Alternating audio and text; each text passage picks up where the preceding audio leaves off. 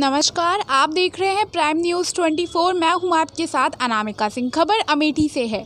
प्राप्त जानकारी के अनुसार जनपद के विकास खंड अमेठी के ग्राम पंचायत नियावा के ग्राम पूरे पांडे में ग्रामवासियों के सहयोग से संगीतमयी श्री राम कथा का आयोजन किया जा रहा है, जिसके उपलक्ष्य में आज विशाल कलश यात्रा निकाली गई, जिसमें सैकड़ों की संख्या में गाँव व क्षेत्र के श्रद्धालु हुए शामिल। सात दिनों तक श्री राम कथा होगी। तत्पश्चात विशाल विशाल भंडारा आयोजित किया जाएगा। प्राइम न्यूज़ 24 के लिए अमेठी से शिवानी शुक्ला की रिपोर्ट।